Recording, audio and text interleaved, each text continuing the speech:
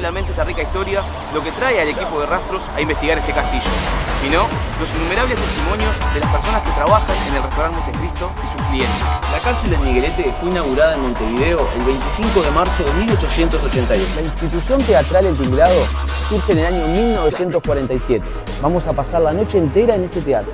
Acabamos de llegar a la casa, vamos a iniciar el encierro en la estancia El Trío. Vamos a comenzar la investigación en el molino quemado.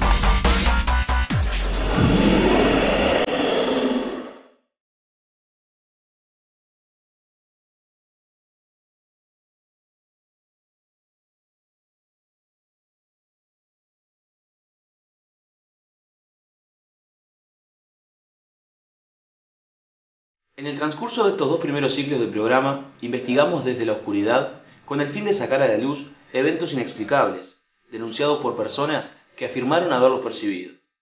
Estuvimos en un castillo,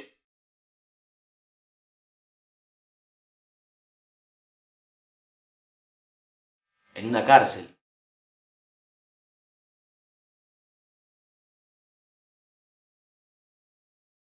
en un teatro.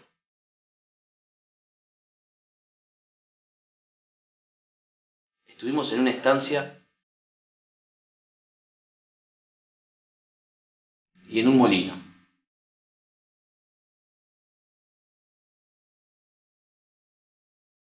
En todos ellos utilizamos equipos que son el resultado de más de 90 años de investigación en diferentes partes del mundo. A pedido de muchos de ustedes, tanto por las redes sociales como por la página web, y por ser el primer programa en el país que se dedica a este tipo de investigación, hoy vamos a explicar de forma detallada cómo funcionan y mostrar ejemplos de las investigaciones en donde estos nos permitieron documentar eventos sin explicación. Hoy les vamos a mostrar cómo funciona la conexión.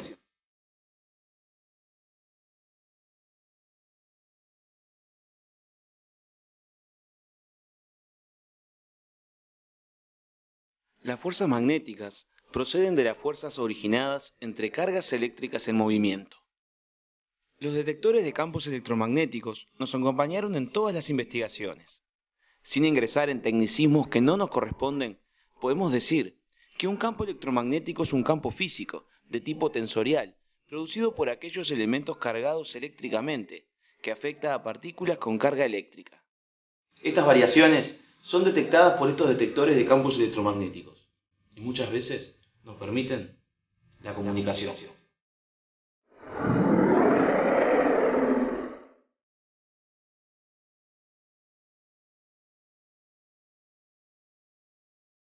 Está apagado en este momento. Cuando le encienda, va a encender una luz y hacer un ruido.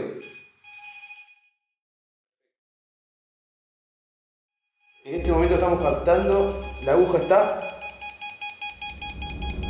casi en 5, es una medición altísima.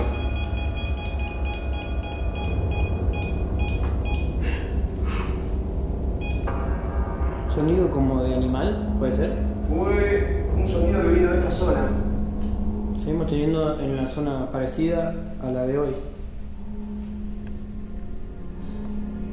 Ahí está de vuelta. Aumento de la actividad electromagnética.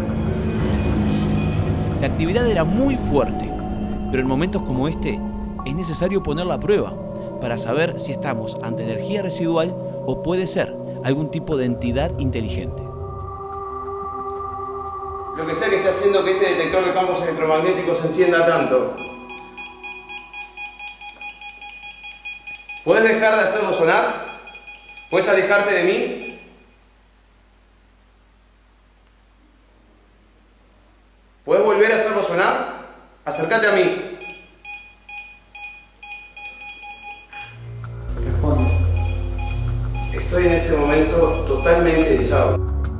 Claramente el medidor respondió al pedido. Comenzamos a considerar estar frente a una entidad inteligente. Decidimos realizar una sesión de CB7 para saber más. ¿Qué le parece que haya un restaurante en esta parte de su castillo, de su casa?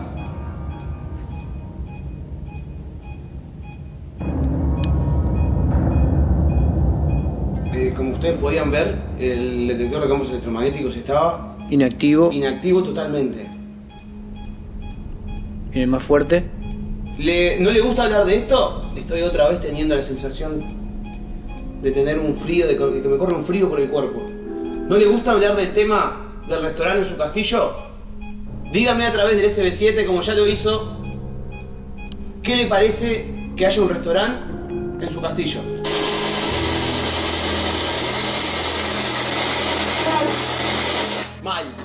El encierro en la cava no fue fácil para Nacho. Ya eran las 5 de la madrugada, el espacio era reducido, así que debía quedarse solo.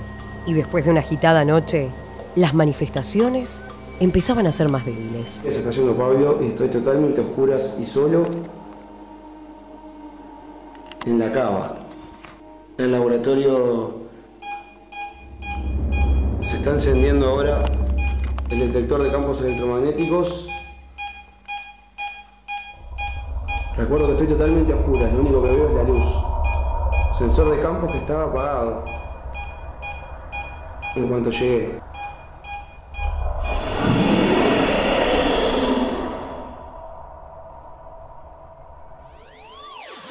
La explicación de los siguientes equipos ha sido sin duda de los más solicitados por la audiencia.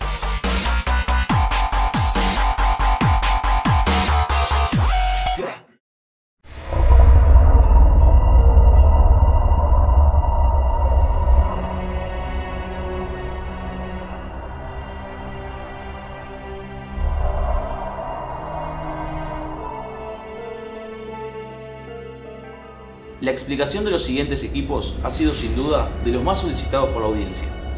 Nos referimos al SB7 y SB11.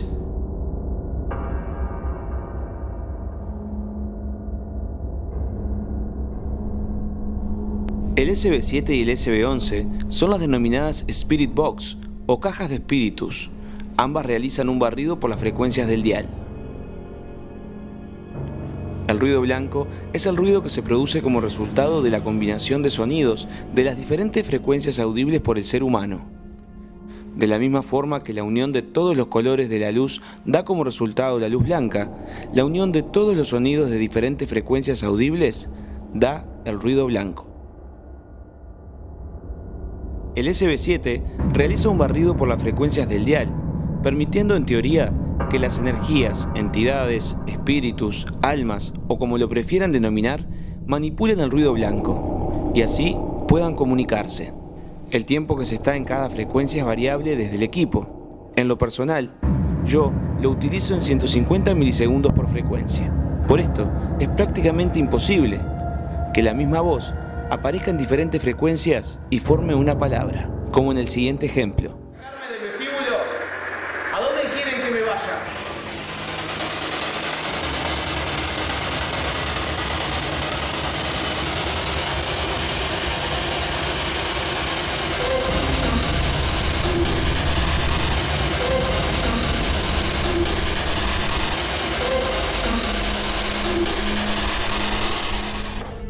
Al igual que el SB7, el SB11 es un dispositivo que realiza un barrido de frecuencia.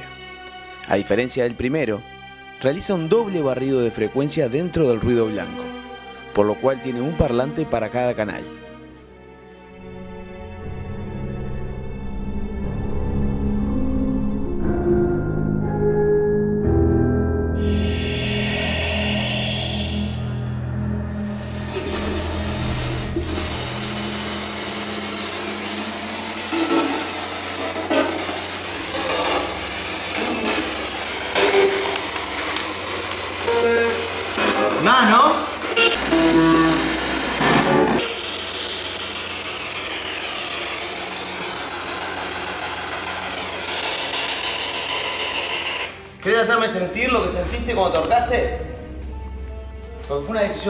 No tuve nada que ver.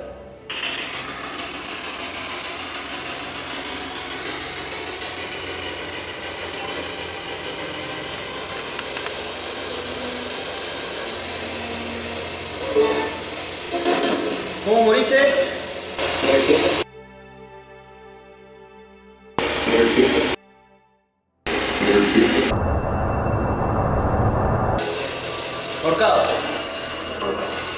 los escucho clarito. Ahorcados.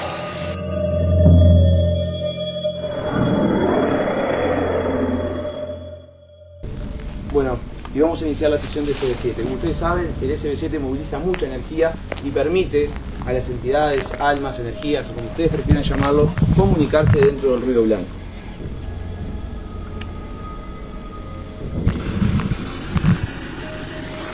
Prácticamente en este lugar, César, eh, decías que no se captan frecuencias radiales. Así es. Y también la señal del, del teléfono celular es mínima. Es mínima.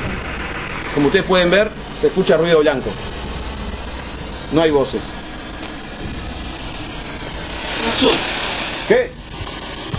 ¿Quién dijo Nacho? ¿Quién dijo Nacho? ¿De dónde salió Nacho? El handy lo tengo acá. ¿Se escucha ahí? No, poquito, pero encima lo fuimos nosotros, eh. ¿Pero se escuchó ahí? ¿Se escuchó en el, en ¿Se escuchó en el SB7? ¿Lo escuchaste? Clarito.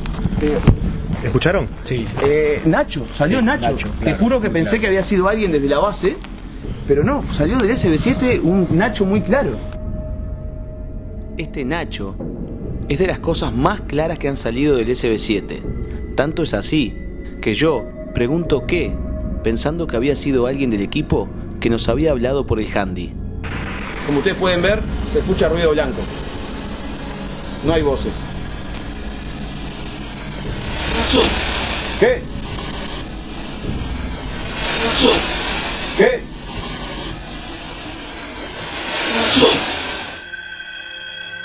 Tengo una sensación muy extraña en este momento porque fue demasiado nítido lo que salió del SB7.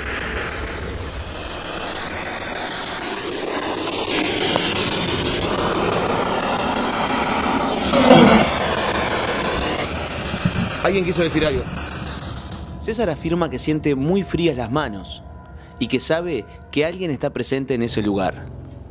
Se refiere a Elisa, la esposa del capataz Adolfo Kunz, quien murió en el año 1831 en el molino Paso La Tranquera. De forma increíble, en este preciso momento del SB7 sale la voz de una mujer, que parece decir lo siguiente.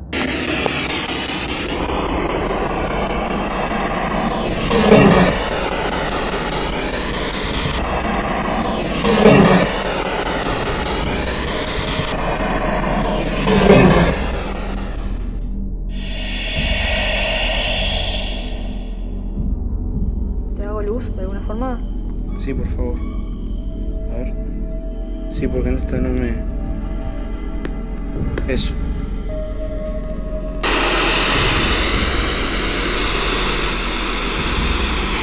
¿Hay alguien acá?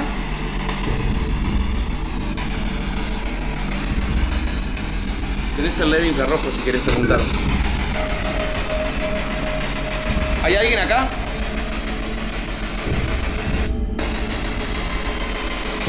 Era lo que pasaba en este lugar?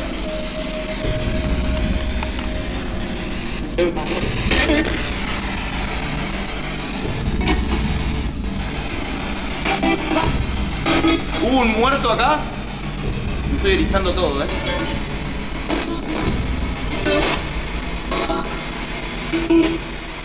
¿Alguien murió en este pabellón?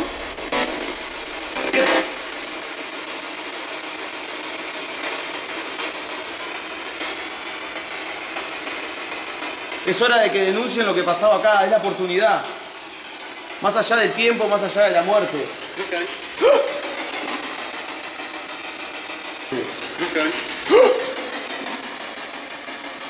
Son las 3, cerca de las 3 y media de la mañana. Es la hora donde siempre hay más actividad. Yo en este momento tengo el corazón a mí. Bueno, vamos a empezar a hacer el barrido. En el SB11 van a ver un parlante de este lado.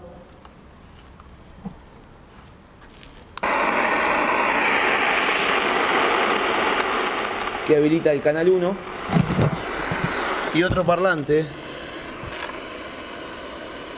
de este lado.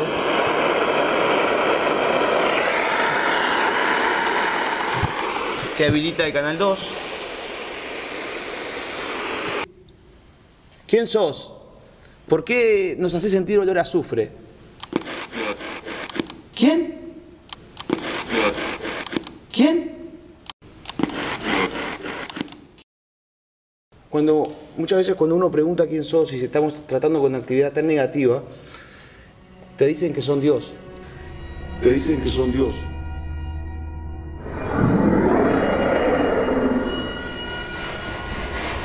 Se escuchó de nuevo un ruido en la puerta. Esta voz nos parecía avisar que había algo o alguien en la puerta.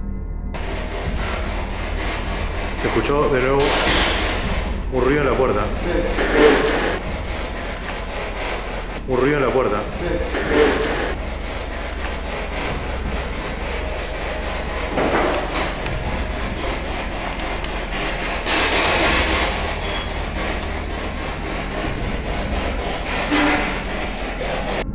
Manera increíble, tan solo unos segundos después que cierro la puerta, nuevamente sale esta palabra del SB11, por si alguien tenía duda de que lo primero fue una coincidencia o una mera interferencia radial de un equipo que ni siquiera tiene antena.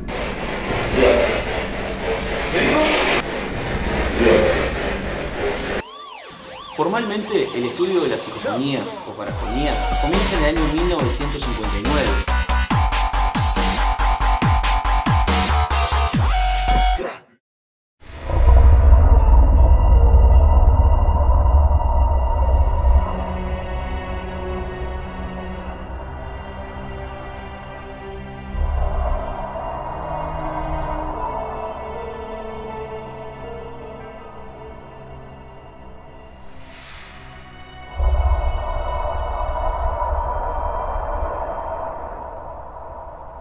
En parapsicología, la producción de sonidos que no responden a ninguna causa física aparente se le llama psicofonía.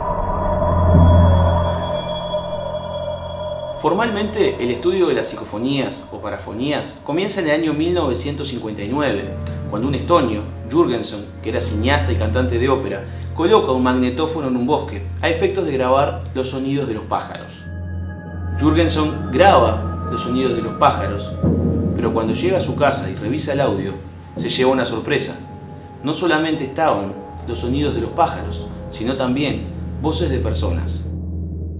El estonio piensa que en algún momento alguien se acercó dentro del radio del magnetófono. Por lo tanto, al otro día va nuevamente al bosque, coloca el magnetófono y se asegura de que no hay nadie alrededor. Nuevamente, cuando llega a su casa, escucha las voces, pero esta vez era una voz muy conocida para él, la voz de su madre, que lo llamaba por el nombre cariñoso de cuando era chico, Friedrich.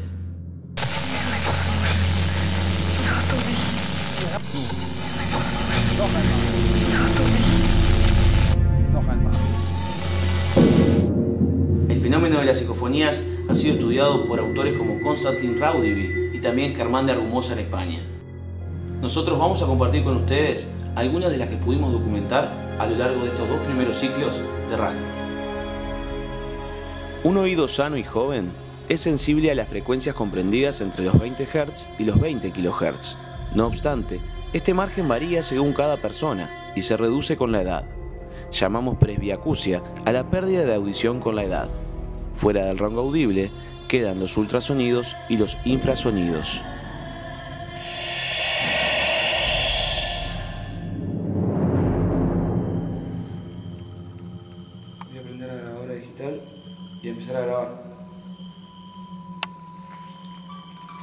Grabando, ahora yo estoy escuchando. Y vamos a ir a la parte donde se denuncia mayor actividad. No vemos absolutamente nada. Nos estamos dando contra las cosas.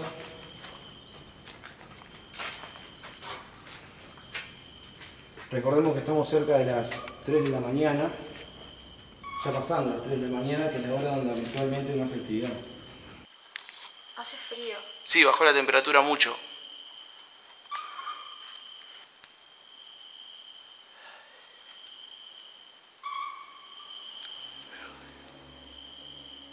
Acabo de escuchar una voz que me dijo te odio. La acabo de escuchar, pero, pero nítidamente en la grabadora.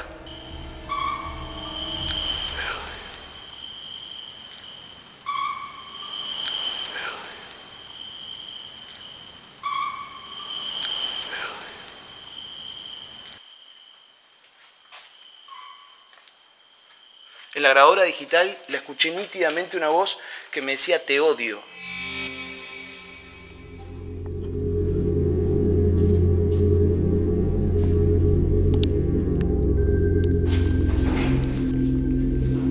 Atrás tuyo.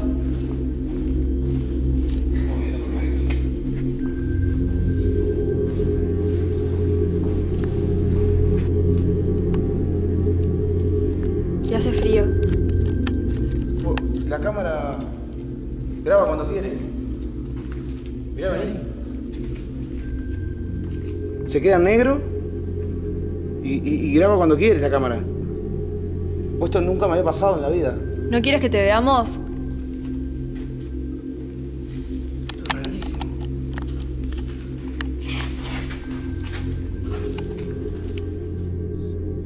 Esta extraña voz se registró en la entrada de la segunda parte del pabellón 2. Sin embargo, no fue percibida en el momento.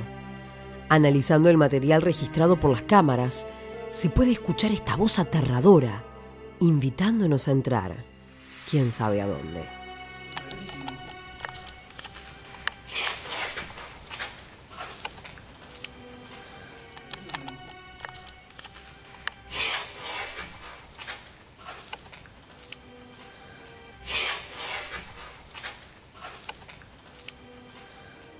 Uno de los elementos característicos de las psicofonías es que no las escuchamos en tiempo real, pero sin embargo actuamos según lo que nos dicen. Y lo que pasó a continuación es un claro ejemplo de esto.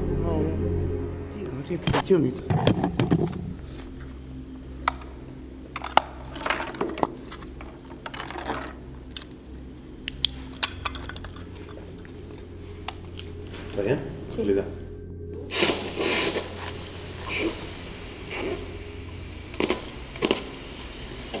Ah, tenemos que salir de acá.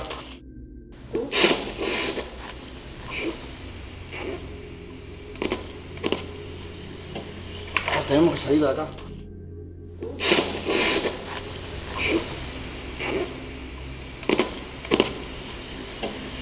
Tenemos que salir de acá. Ya agarré esto.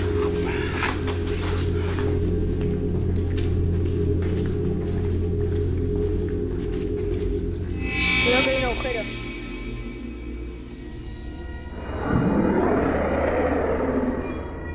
Estamos en el medio de la nada, en una estancia en donde se dice que hay actividad muy, pero muy fuerte. Y vamos a iniciar esta investigación en el sótano.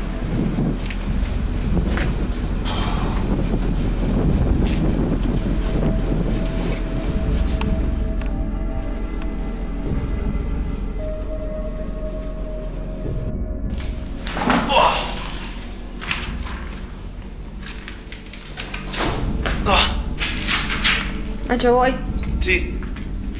Sí. Tened mucho cuidado, Julieta.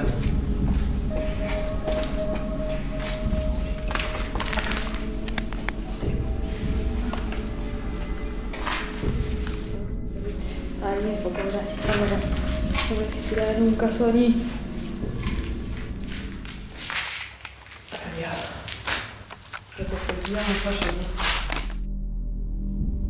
Nuestros micrófonos graban, de forma inexplicable, la voz de una mujer, que aparentemente le habla a Julieta y le dice que tenga cuidado, ya que la escalera no está en buenas condiciones.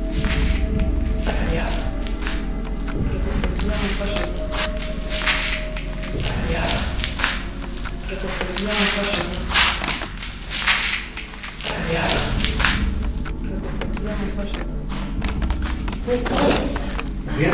Sí, que estaba tratando de espiar el cable sin tocar. ¿Está bien? Sí. ¿Qué fue eso? Sí. Acabo de grabar una voz rara. ¿no? Siendo Julieta y yo los únicos en este sótano, es realmente inexplicable la voz capturada por la grabadora digital, que parece además avisarnos algo que a su entender iba a suceder. ¿Qué fue eso? Sí. Acabo de grabar una voz rara.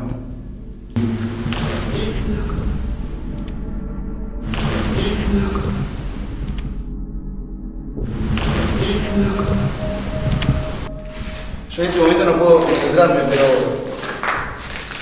yo vamos a explicarle a la gente. Pasó Juan Carlos, estamos con Martín, que es el que tiene la cámara en mano, y está Julieta, que también está ayudando con la, con la luz en, la grabación de la entrevista con Juan Carlos. Dejé pasar a Juan Carlos, la cámara fue detrás de Juan Carlos, y en ese momento yo quedo solo, de espalda, y se siente un golpe muy fuerte, se siente un golpe muy fuerte de acá adentro. En este momento, el micrófono de la cámara capta la voz de un niño. Si bien Nacho no la escucha en el momento, no solo hace una pausa en su relato, sino que también baja su mirada. Observen. Fuerte, se siente un golpe muy fuerte de acá adentro. Muy fuerte, muy fuerte. Eh, espero que la cámara, el micrófono lo haya, lo haya registrado. Yo giro y... Las sensaciones que se tienen cuando se está realizando la investigación son inexplicables a través de una pantalla. Fue como un corte total con mi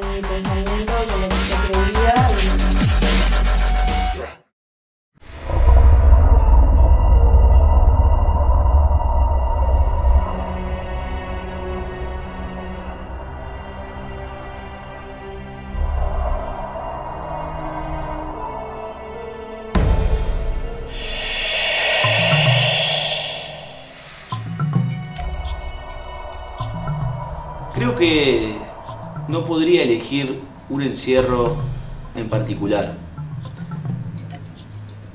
Creo que cada encierro tuvo su particularidad.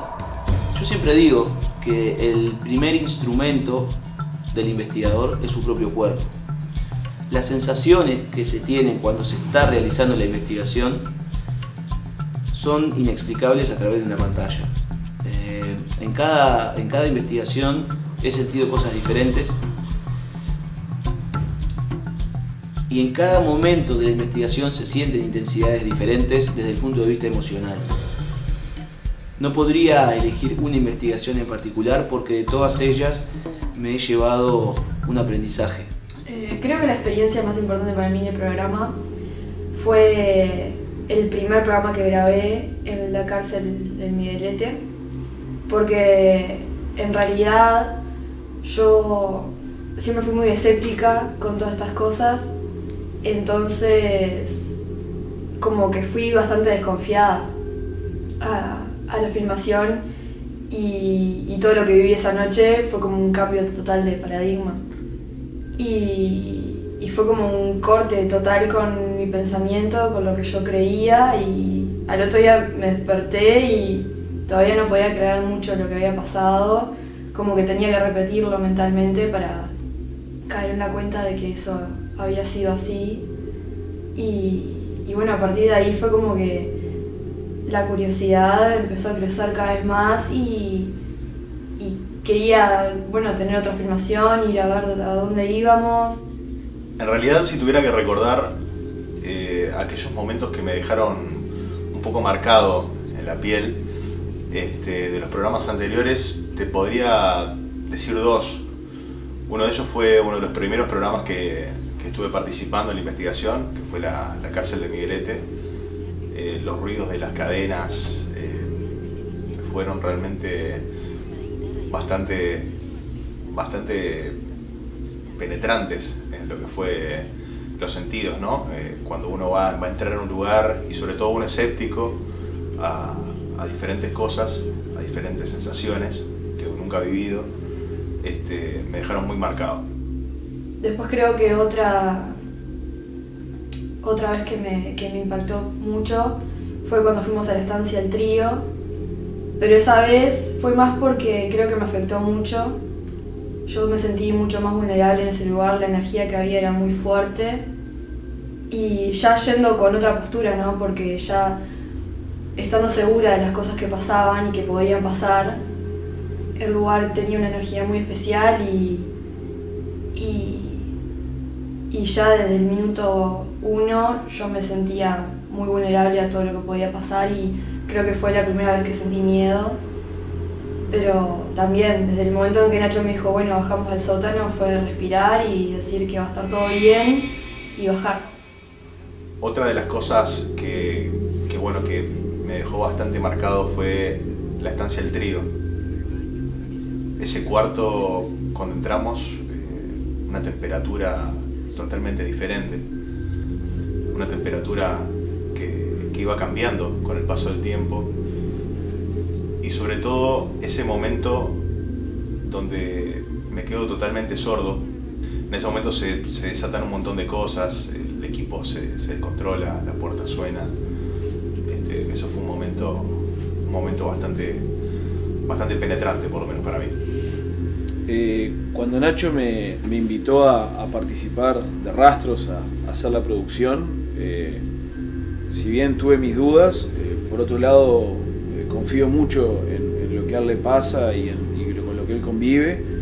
Y, bueno, y me di la chance quizás a mí mismo de pensar, decir, bueno, es un proyecto que está bueno para mostrárselo a la gente y como proyecto televisivo me parece interesante creo que hoy no puedo desprender el proyecto televisivo con la necesidad personal de haber descubierto eso y querer conocer más y querer entender cómo eso sucede y con quién nos, nos comunicamos y, qué son la, la, las entidades o las almas o, o lo con lo que estamos este, comunicándonos.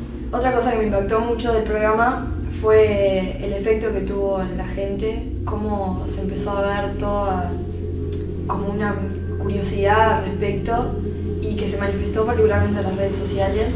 Hubo una, muy linda reacción por parte de la gente que, que, se prendió con la propuesta del programa y, y que me sentí como acompañada en el proceso también porque yo sentía esa misma curiosidad. Yo quería ya planear un nuevo encierro para, para ir a ver qué pasaba allí. Y siempre fue todo muy interesante, desde hacer las entrevistas a recorrer el lugar, incorporar el lugar como es en sí, armar la base y, y mentalizarnos de, bueno, qué es lo que estamos haciendo aquí. Y pasar la noche en esos lugares que por más que sea difícil, porque en muchas ocasiones es difícil, te da miedo, te afecta físicamente y emocionalmente, está bueno poder encontrar esas cosas y saber un poco más del pasado. Rastros para mí significa eh, también vencer un poco el miedo que, que uno tiene en lo personal. Este, arranqué un proyecto en el cual respeto mucho y sobre todo soy bastante, o era bastante escéptico a todo este tipo de, manifestaciones, manifestaciones que, hasta el momento para mí eran desconocidas. Y me encantaría poder seguir haciendo este tipo de cosas, eh, poder estar en contacto con algo que es tan desconocido y que hay tanto por descubrir, es como una motivación extra.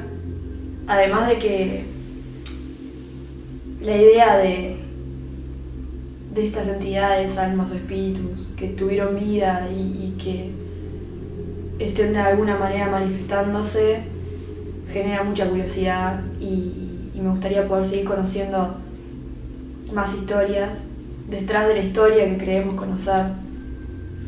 También es una parte de, de entender el mundo desde otra, desde otra perspectiva, de abrir la cabeza de cada uno, a decir, bueno, eh, hay un mundo que no conocemos, hay un mundo que no vemos, y, para mí también es esa oportunidad, pero este es un mundo, el de las cosas inexplicables, el de los fenómenos paranormales, que es muy difícil de, de entender si uno no, no, lo vive por uno mismo.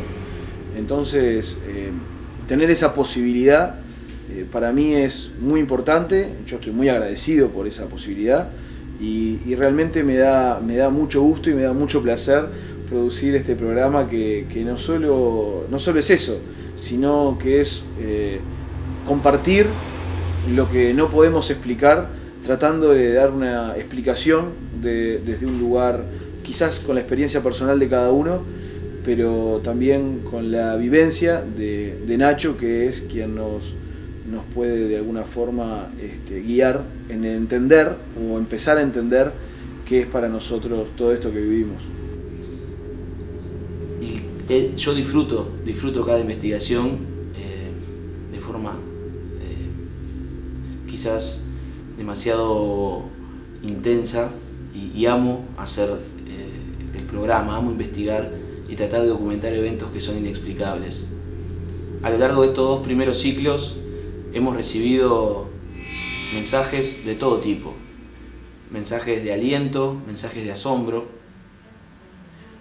y también mensajes de aquellos que simplemente toman su tiempo para tratar de dañar o quizás eh, no hacer una crítica constructiva, sino una crítica destructiva, que ni siquiera nos tomamos el trabajo de contestarles porque el problema está en ellos y no en nosotros.